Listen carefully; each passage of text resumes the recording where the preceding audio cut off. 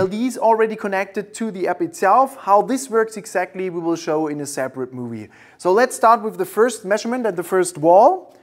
Uh, the important thing is that the display every time looks to the middle of the room. That's the important thing. And that we measure the room counterclockwise or clockwise. So if you start counterclockwise, you have to keep going on counterclockwise and the other way around. Um, that's the most important thing that Smart Sketch will work. So let's take the measurement of the first wall. And as you can see, we already have the value here in the app.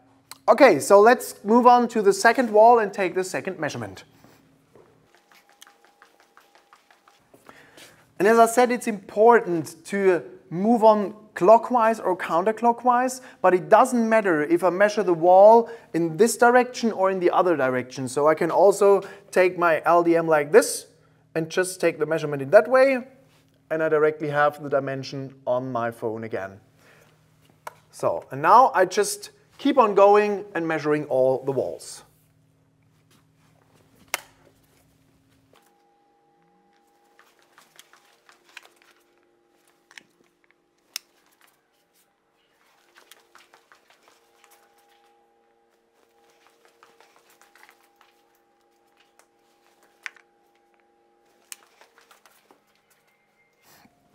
Okay, now we go on to the last measurement in this last corner. So that's the last dimension which is missing.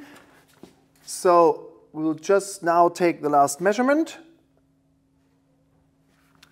And now if we look in the app, we can see all of the measurements I just took during walking around. And if I now press OK, we can see the whole room with all of the measurements in it. Very easy and very quick.